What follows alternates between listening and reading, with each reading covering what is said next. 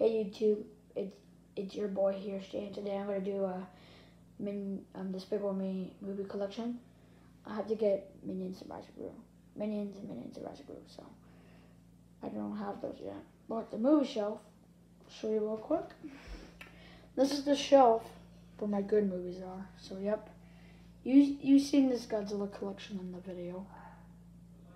In the video, so yep. Now we'll show the Despicable Me. So we have the we have the first movie. Um, this was a good movie. I like this one. Not really the best movies I've ever seen, but it's okay.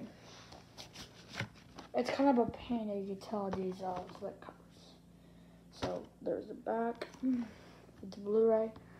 So yep, there's the code, the DVD, and the Blu-ray. And you can find on the pig goes on. So very cool. Give me a sec to put it back in.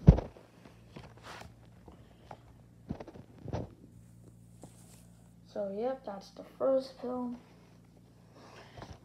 And I also have the second film right here. Despicable Me 2.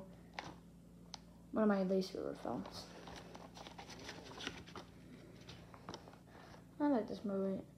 But I watched it, but I think someone told me it wasn't a pretty good movie, so.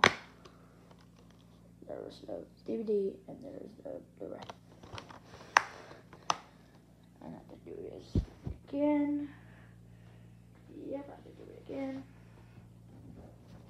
So that's Despicable Me 2. And this is the fourth film. This came right after Minions. So, yep, Despicable Me 3. So, yep, this is the back. Minions Rush and the DVD.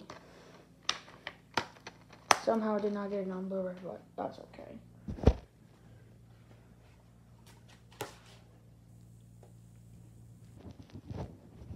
And don't forget, this is a special edition, so.